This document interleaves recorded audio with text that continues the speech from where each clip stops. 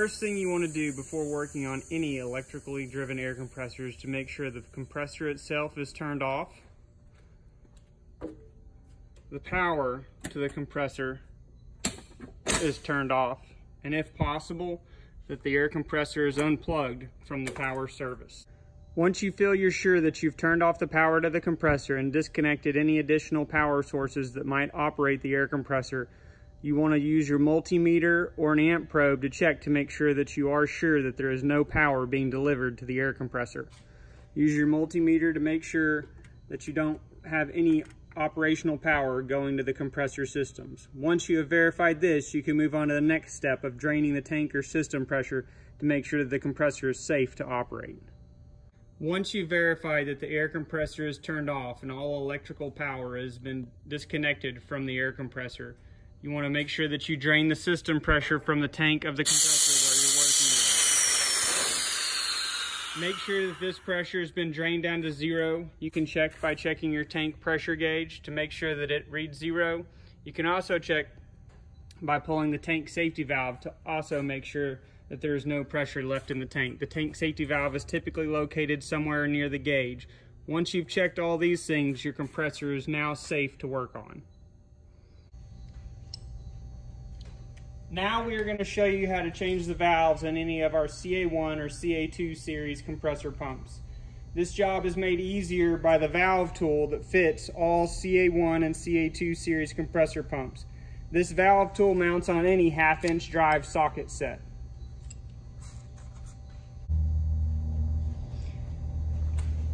First, we begin by removing the valve hold down caps. A half inch wrench is needed for this process.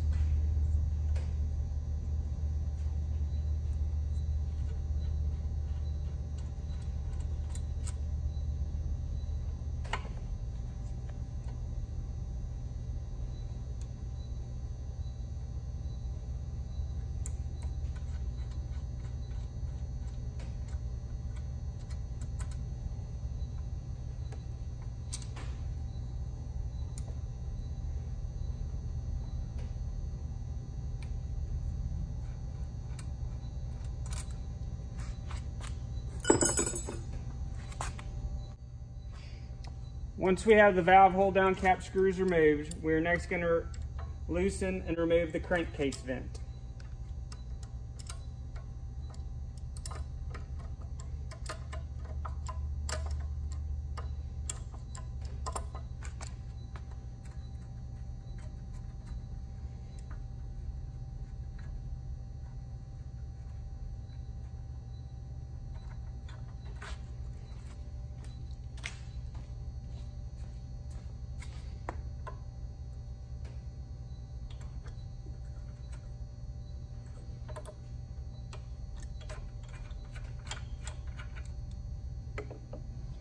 Now that the crankcase vent is removed, we're going to remove the crankcase vent fitting.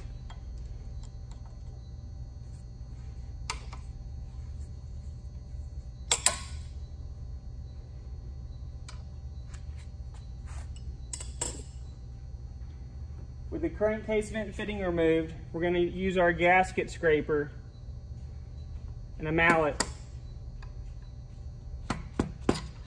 dislodge the valve cover caps.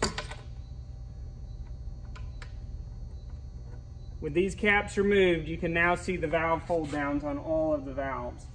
If you have any gasket material left over, use a valve gasket scraper to remove any excess material.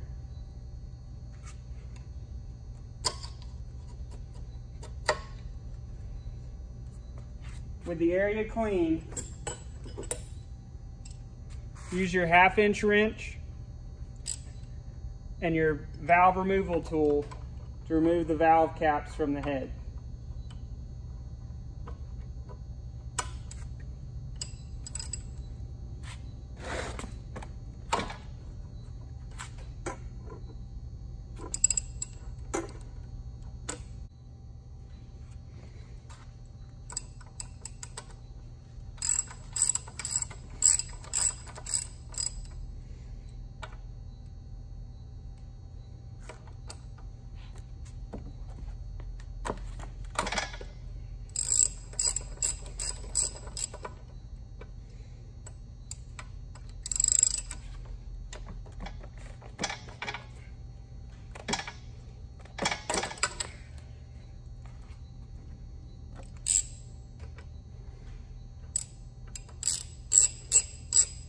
We can now remove all the valve caps that are holding in the compressor valves.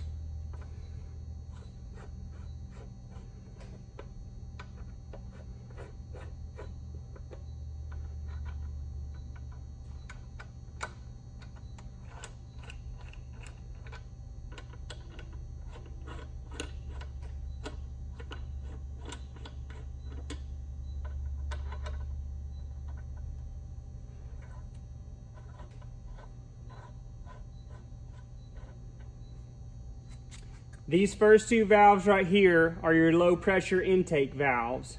This valve right here is your low pressure discharge valve.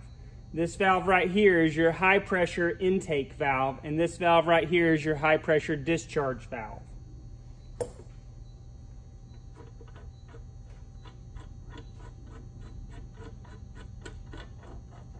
Once you remove the valve hold down, we can remove the valve retainer. Once the valve retainer has been moved, the valve can simply be picked up out of the, out of the head of the compressor pump. There's a copper valve seat gasket that if needed can be replaced as well. To put the valve back in, you simply put the valve copper gasket back on in its seat in the head and then insert the valve back into the head of the compressor pump. Replace the valve retainer ring and put the valve cap back in. This step is repeated five times for all the valves. It is not recommended to remove all five valve caps at once as the valves are different and do look different. Please make sure to only do one valve at a time as you're going.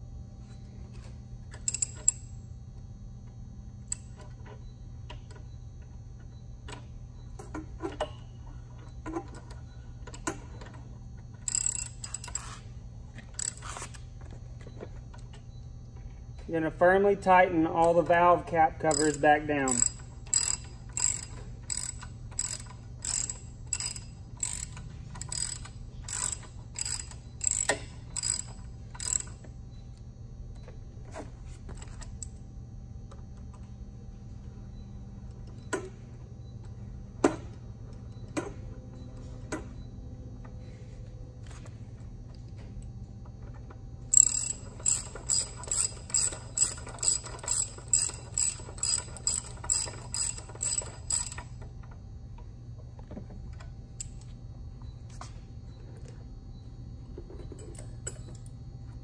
Your plate.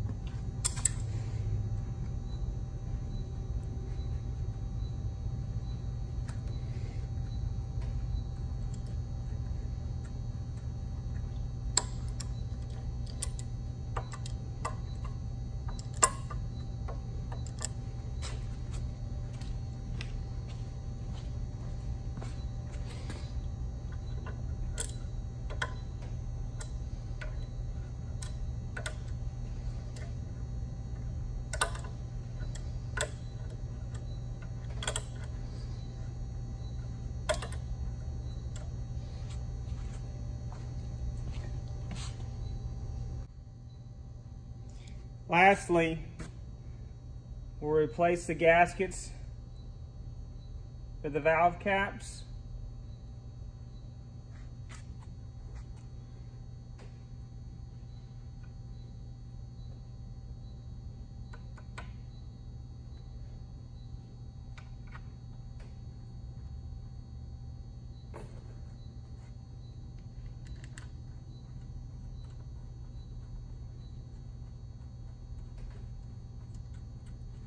Tighten them back all down and you have completed a valve job on one of our CA1 or CA2 series pumps. On the CA2 series pumps, this pump has this same head again on the other side for the other two cylinders. You will just repeat the same process to change the valves on that pump.